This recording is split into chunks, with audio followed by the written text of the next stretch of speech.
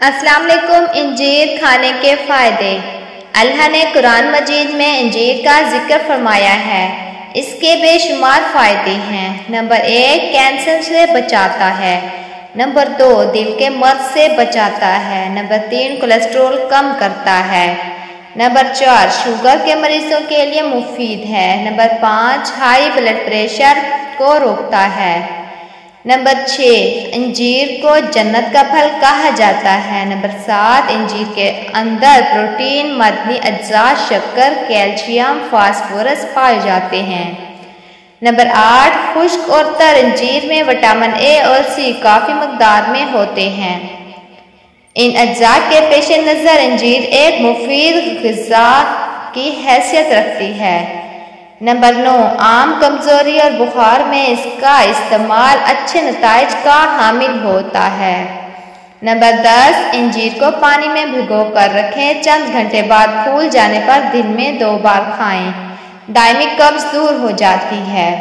Number ग्यारह, खुश्क इंजीर को रात भर पानी में रख दिया जाए तो वो ताज़ा इंजीर की तरह फूल जाएगा। इसे खाने से गला बैठ जाना या बंद हो जाने के अमराज पैदा नहीं होंगे। नंबर बारह, सर्दी के आयाम में बच्चों को खुश्क इंजीर दी जाए तो इनकी नशोनुमा के लिए बेहद मुफीद है। नंबर तेरह, कम वज़न वालों और दिमागी काम करने वालों के लिए इंजीर बेहतरीन तोहफा है।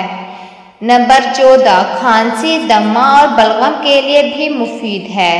नंबर पंद्रह, इंजीर खाने से मुँह की बदबू खत्म हो जाती है। नंबर 16 इंजीर को दूध के साथ इस्तेमाल करने से रंगत निखर आती है और जिसम फरबा हो जाता है।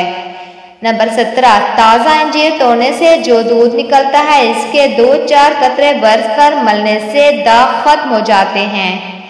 नंबर 18 इंजीर प्याज की शिद्दत को कम करता है। नंबर 19 इंजीर खून के सुर्ख ज़रात में आजाफा करता है। और जहरीले मादे ख़त्म करके खून को साफ़ करता है। नंबर बीस, कमर में दर्द हो तो इंजीर के तीन चार दाने रोज़ाना खाने से दर्द से निजात मिल जाती है। नंबर इक्कीस बवासीर की शिकायत हो तो इंजीर का इस्तेमाल नहायत मुफीद है।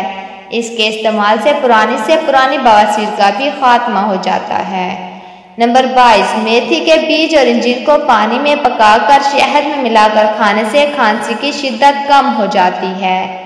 नंबर 23 इंजीर ताज़ा और नर्म लेनी चाहिए। काली और सूखी इंजीर में बाजों का सफ़ेद कीड़े नज़र आते हैं। ऐसी इंजीर बहुत नुकसानदेह होती है। वीडियो को लाइक और चैनल को सब्सक्राइब कीजिए।